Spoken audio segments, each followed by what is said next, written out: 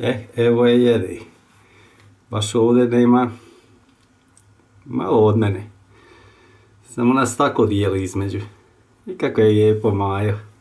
Moga mi u ruku stati, evo čak da je pruži ruku ovako. Vidi je. Jaj, jaj, jaj, jaj. I kako lijepo drži sapicama, jedi. Čuje ona da ja njoj pričam, ništa. Super, vidi, vidi. Jel dobro? Češ još? Samo ti dođi ovdje, te dati stalno. Pa i ja.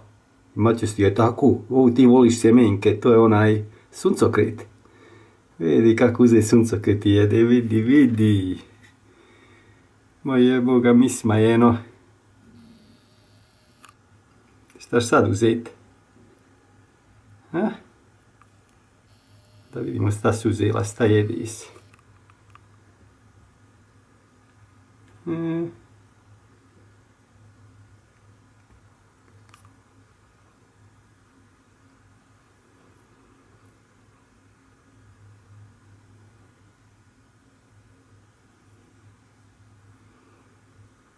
Mm, super, sunt Socrate. Neama, neama.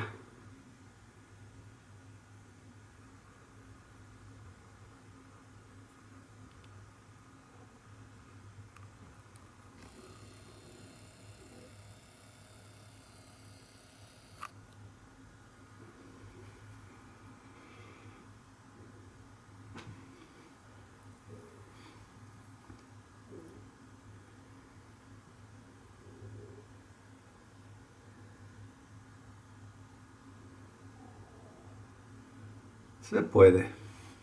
Ja, bravo. Ima još suncokrita tu dosta.